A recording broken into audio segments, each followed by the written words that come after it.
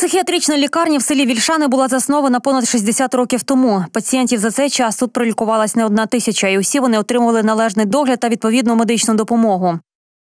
Пацієнти у нас лікуються в основному з хронічним безремісійним перебігом, які потребують більш тривалого лікування. От, і Відповідно, більш тривалий час вони перебувають у нас у нас в закладі. Також у закладі є велика кількість пацієнтів, які втратили соціальні родинні зв'язки, які втратили навички до самообслуговування, які потребують постійного стороннього догляду. Зараз переважна більшість пацієнтів, а це майже 80% хворих, люди старше 60 років. Усі вони потребують не лише лікування, а й особливого догляду. Адже значна частина з них вже не може себе елементарно обійти. Їх треба годувати та інколи навіть водити до вбиральні. Проблема в тому, каже директор закладу, що з початком другого етапу медреформи заклад втратив більше 80% фінансування. А це значить, тих хворих, які перебувають тут вже багато років, просто нічим буде ні лікувати, ні годувати. НСЗУ, по-перше, не передбачено фінансування цих пацієнтів, які у нас фактично проживають. Е, фінансування порівняно з 2019 роком. У нас зараз фінансування, що нам пропонує НСЗУ, це лише 14,4%.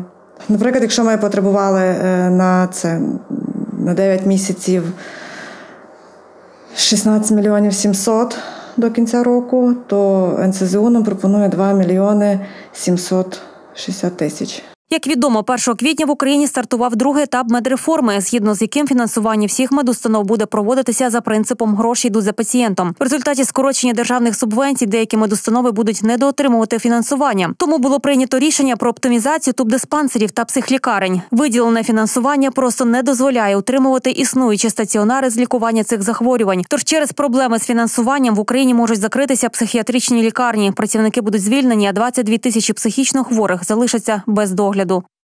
Значна частина пацієнтів цієї психіатричної лікарні лікується тут вже багато років. Хтось з них вже втратив родинні зв'язки. Когось родичі просто не хочуть забирати додому.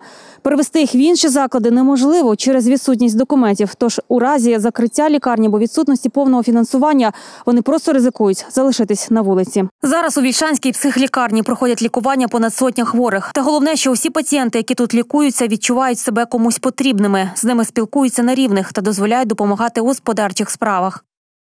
Багато наших пацієнтів разом з нашим персоналом е, залучаються до якихось легких робіт. Е, от, Бачите, у нас є е, ферма, на якій є у нас на утриманні є двоє коней, то догляд за цими конями проводять наші пацієнти. Вони знають, що вони потрібні, вони знають, що лише вони це можуть зробити. І нам дуже боляче, що зараз така склалася така ситуація, що ми змушені оптимізувати заклад, що ми змушені ем, вивільняти людей, ми змушені відмовляти пацієнтам госпіталізації. У Вільшанській психлікарні була е, введена, впроваджена, можливо, єдина в Україні. Е, лікарня, де був впроваджений повністю вільний режим хворим, які знаходяться вже у стані після гострого психозу, яким треба, яких треба реабілітовувати. Вони мали там повністю свободний вихід. Е, це перша лікарня, де зняли грати на вікнах, де відкрили двері. Тобто, ну люди там по суті вони не відчували себе гіршими за інших людей. До них було людяне відношення. Навіть тих хворих, які, е, яких треба було прив'язувати, скажімо так, до кроваті, купірувати їм психоз, у вільшанах їх кормили з ложечки.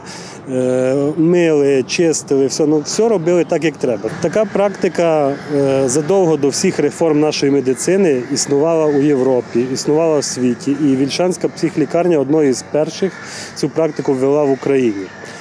І тому, е, якби у нас реформи робилися так, як треба, то саме ця лікарня мала стати взірцем для інших лікарень. З неї мали би брати, брати приклад. І, По ідеї, е, туди би мали направити гроші. Медичні працівники різних рівнів переконані, такі заклади ні в якому разі не можна залишати без фінансування, адже це фактично означає їх закриття. І, звичайно, коли не є грошей на зарплату, на отримання хворих і так далі, то вимушеною мірою є скорочення цих закладів. На сьогоднішній день ми несемо дуже велике навантаження соціальне да, по соціальним особам, по соціальним програмам. Дійсно, якщо забрати цю складову і залишити тільки лікування, лікувально-діагностичну роботу, то можливо воно би трохи ситуацію змінило. Але в державі, де працює, де не працює ефективна економіка, е, звичайно, цього робити зараз не можна.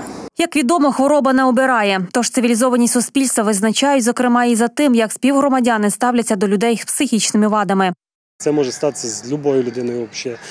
Е, е, Люба людина, яка ну, буде дивитися цей сюжет, от у неї може, не дай Бог, завтра от, зазвучати щось у голові і так далі. Ну і якщо цій людині не буде куди звернутися, то це звучання переросте в хворобу.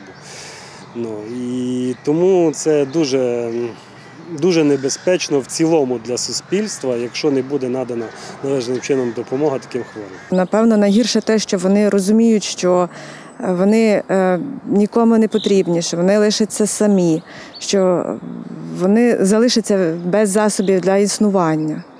І вони дуже боляче це переживають. Переважна більшість психічно хворих люди, які не здатні працювати, себе обслуговувати, забезпечувати себе і близьких необхідними ресурсами, врешті-решт виконувати найелементарніші соціальні обов'язки. Тож чи залишаться пацієнти таких лікарень сам на сам зі своїми проблемами, та якою буде їх подальша доля, поки питання однозначно лише одне: без допомоги та підтримки інших такі люди довго не проживуть.